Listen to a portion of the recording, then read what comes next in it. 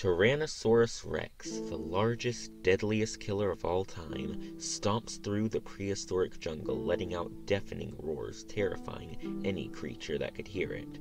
Right? Well, yes, but actually, no. The T Rex you know may not be entirely accurate to the real thing. Paleontologists are still learning about this gigantic creature, and a lot has changed from when it was featured in Jurassic Park in 1993.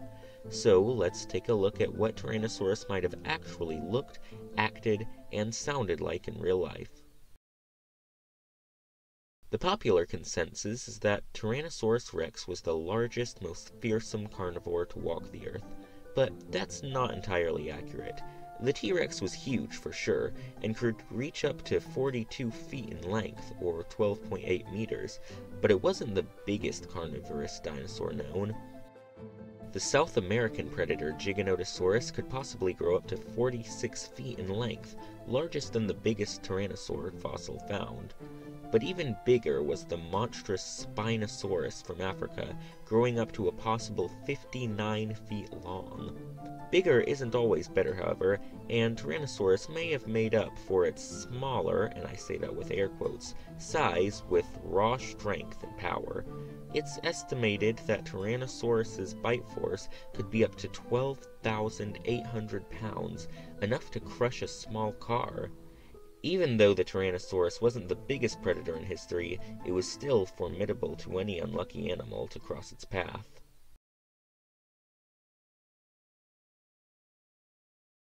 The Tyrannosaurus is popularly constructed in one of two ways scaly and reptilian, or covered with a thin layer of feathers.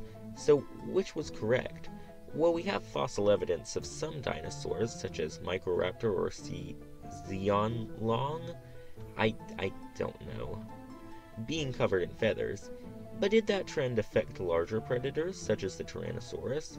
We know that a lack of evidence for feathers doesn't mean they didn't exist, but we do need more of a concrete basis for them in order to assume that T Rex was feathery. There haven't been any feathery Tyrannosaurus rex fossils uncovered, but they have discovered a feathered dinosaur called Yutyrannus, a smaller dinosaur that was in the Tyrannosaur family and related to Tyrannosaurus. It is, so far, the largest dinosaur found with direct evidence of feathers, reaching up to almost 30 feet long. So, by this basis, it definitely is possible that a larger theropod like Tyrannosaurus would have a fabulous feather coating. However, the story doesn't end there. In 2017, scientists examined fossilized skin impressions of Tyrannosaurus and other tyrannosaurs, such as Gorgosaurus and Albertosaurus. The skin impressions showed no sign of feathers, only smooth, scaly skin. So does that mean that the debate is ended and that T Rex was scale covered? Well, more discoveries could change our views, but for now that seems to be the case. With clear evidence that at least part of the body lacked feathers, and no evidence that there were feathers present at all, it seems safe to assume that the Tyrannosaurus rex was scaled rather than feathered. Some speculate that the Tyrannosaurus didn't even need insulation feathers to keep it warm, its body mass could do that without help. So, did the T Rex have feathers? For now, we can assume that it probably didn't.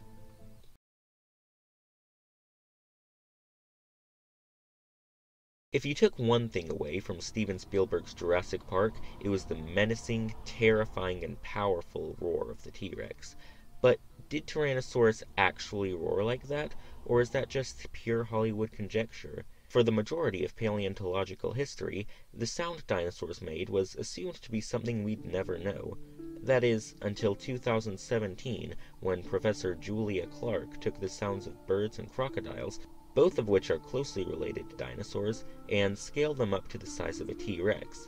The result was a low rumbling, almost like a quiet, constant thunder, a terrifying sound to hear in any setting, most of all alone in a dark, rainy jungle. Studies of the inner ear of the dinosaur support this theory by showing that the animal had very sensitive hearing, especially at low frequencies such as this. Such low sounds can travel over vast distances and could have been helpful if T Rex hunted in packs, like some evidence suggests. This is all, of course, only a hypothesis, but it's the best guess we have, for now, for what a T Rex may have sounded like, and it's pretty terrifying. Here's a clip.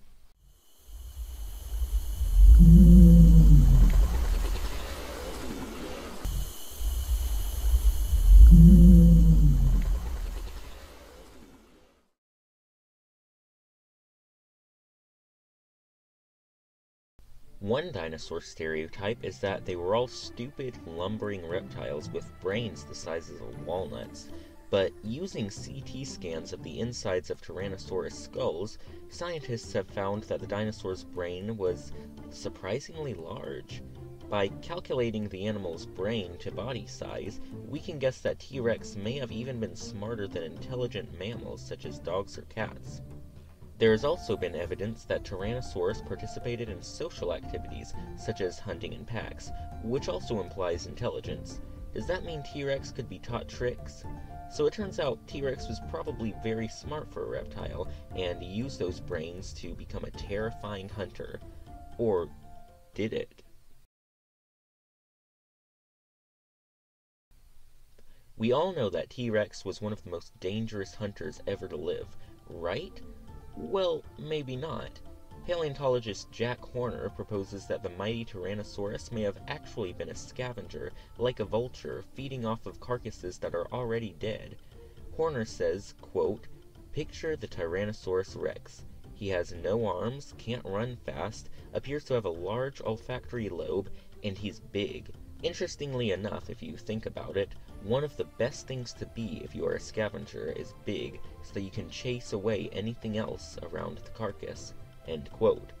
Horner was a huge proponent of this scavenger T-Rex idea, but other scientists objected, saying that there was nothing to stop Tyrannosaurus from being an active predator, hunting and killing other animals. And the controversy raged on until a paper was penned in 2013 on a damaged hadrosaur tailbone. Inside the tailbone was embedded the tooth of a Tyrannosaurus rex, and the bone around the tooth had evidence of having healed before the animal had died, proving that the hadrosaur had been attacked by a Tyrannosaurus but had escaped and lived at least long enough for its tail to heal around the tooth.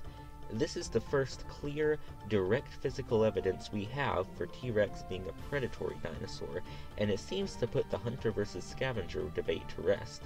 T-Rex may have scavenged dead bodies if it found them, being an opportunistic feeder, but it also relied on hunting and killing its own prey. So, there you go. The perception of Tyrannosaurus has changed through the years and will no doubt continue to change, but that's okay, and I honestly can't wait for more crazy new finds that totally change our ideas of what these creatures looked like. Until then, stay tuned here for more of these fact versus fiction videos and weekly looks at dinosaurs and other prehistoric animals, along with any other dinosaur or paleontological content. For now, however, Paleoluke out.